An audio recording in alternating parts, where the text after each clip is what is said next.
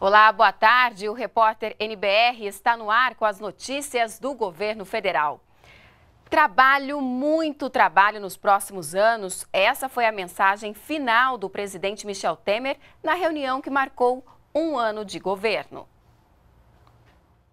Nós já temos resultados concretos, ótimos motivos para mantermos a confiança, confiança que nunca me faltou. E pode acreditar, o Brasil está retomando o caminho do crescimento. Agora é seguir em frente.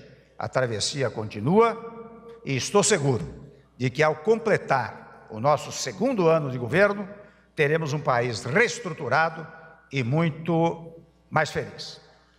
Trabalhemos. Há exatamente um ano, o presidente Michel Temer assumiu o Brasil com a promessa de dar rumo ao país.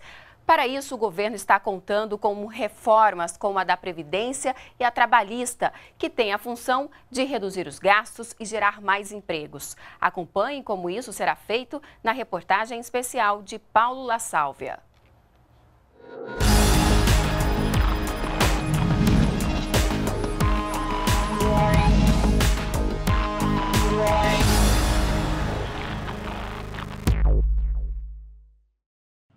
Restaurar a credibilidade do país, atrair investimentos e gerar empregos. Com estas metas, o governo vem propondo uma série de reformas que vão, segundo o presidente Michel Temer, colocar o país nos trilhos. Essas medidas todas que nós estamos eh, promovendo, de responsabilidade fiscal de um lado e social de outro lado, colocarão o Brasil no rumo certo. E para que esses projetos virem realidade, o governo conta com o Congresso. Por isso, tem buscado, por meio do diálogo, estreitar ainda mais a relação com os representantes da Câmara e do Senado. O Brasil é um, um país que tem um governo sério, um governo que enfrenta temas que parecem ser polêmicos, mas que são fundamentais para o futuro da, para o futuro da nação. Então, o governo avança, é, tendo o apoio, por óbvio, do Congresso Nacional, que tem sido um parceiro importante em todas essas votações, em todas essas aprovações. Entre as mudanças, o Palácio do Planalto enviou ao Congresso duas reformas, a trabalhista e a da Previdência. Aprovado na Câmara e enviado ao Senado, o projeto que moderniza a legislação trabalhista prevê o seguinte: a jornada de trabalho poderá ser estendida para 12 horas por dia, 48 horas por semana, 220 horas por mês. Os 30 dias de férias poderão ser divididos em até três vezes. Para as horas extras, pode ser criado um banco de horas individual. O imposto sindical deixa de ser obrigatório e passa a ser opcional. O trabalho em casa passa a ser regulamentado.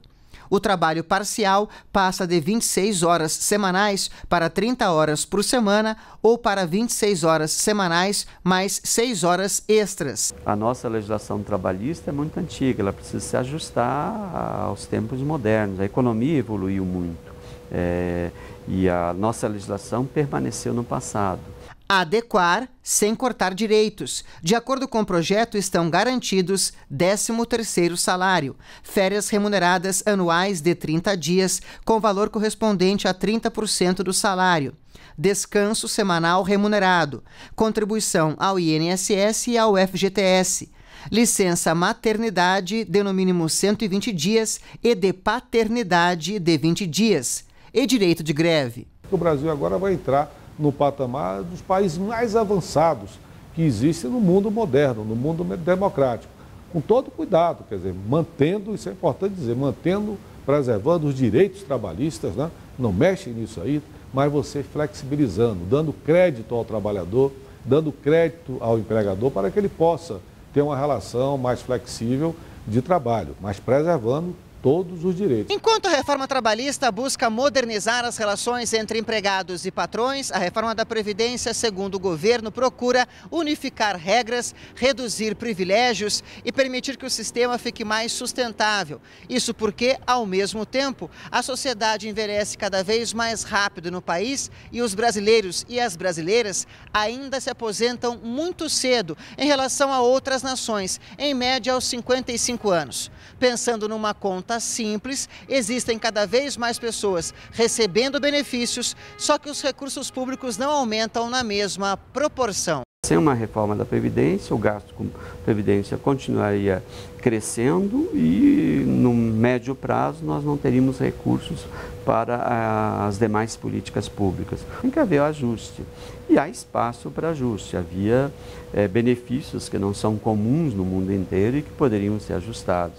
A própria idade para aposentadoria do Brasil é uma das menores do mundo. Na Câmara, as mudanças já foram aprovadas na comissão especial e agora seguem para o plenário. Entre as alterações, o relatório mantém a idade mínima de 65 anos para homens se aposentarem. Para mulheres, a idade vai ser menor, 62 anos. O tempo de contribuição é igual, 25 anos. Para receber o benefício integral, a pessoa vai ter de contribuir por 40 anos e não 49 anos, como estava previsto na proposta original. O benefício de prestação continuada permanece sendo de um salário mínimo, mas, a partir de 2020, a idade para idosos de baixa renda solicitarem o benefício vai aumentar de forma gradativa dos atuais 65 para 68 anos.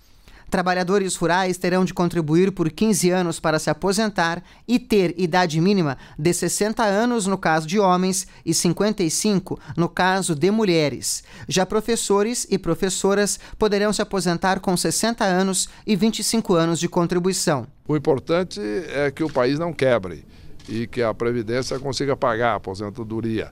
É, e, e, que a reforma trabalhista permita a todos ter um trabalho justo e ter emprego. Isso é que é importante. Precisamos ter um país com emprego para todos, um país que tenha, de fato, inflação baixa, poder de compra crescendo e segurança para todos que vão receber a sua aposentadoria quando de fato se aposentarem. E hoje, antes de coordenar a reunião de um ano de governo no Palácio do Planalto, o presidente Michel Temer esteve em uma agência da Caixa aqui em Brasília para acompanhar o início da liberação do terceiro lote de pagamentos das contas inativas do FGTS. O presidente Michel Temer foi pessoalmente na agência central da Caixa Econômica, aqui em Brasília, para acompanhar a liberação dos recursos das contas inativas para os trabalhadores. Alguns trabalhadores já estavam aguardando a agência abrir para fazer o saque. O dinheiro terá diversos destinos. Não era um dinheiro que eu estava esperando e eu vou gastar comigo. Nada mais justo, né? Um dinheiro que estava ali e eu não, não sabia. Eu vou gastar comigo. O Dia das Mães está chegando aí, eu vou comprar algumas coisinhas para mim. Inicialmente eu pensei em pagar algumas contas e guardar o restante para uma eventual emergência. Pense em investir, colocar em um fundo de investimento. Nesse terceiro lote de contas inativas do FGTS, quase 8 milhões de trabalhadores serão beneficiados com 10 bilhões e 800 milhões de reais. E até a liberação do quinto e último lote, a economia brasileira vai receber uma injeção de 40 bilhões de reais. Trabalhador compareceu é, mais assiduamente à Caixa Econômica Federal e nós temos tido uma, uma performance de mais de 90% da nossa expectativa inicial, que era é, 43 bilhões de reais. Então acreditamos que até o final do calendário, que se encerra dia 31 de julho deste ano, nós tenhamos aí é, feito o pagamento de cerca de 40 bilhões de reais. E nós ficamos por aqui. Continue com a gente aqui na NBR, a TV do Governo Federal. Música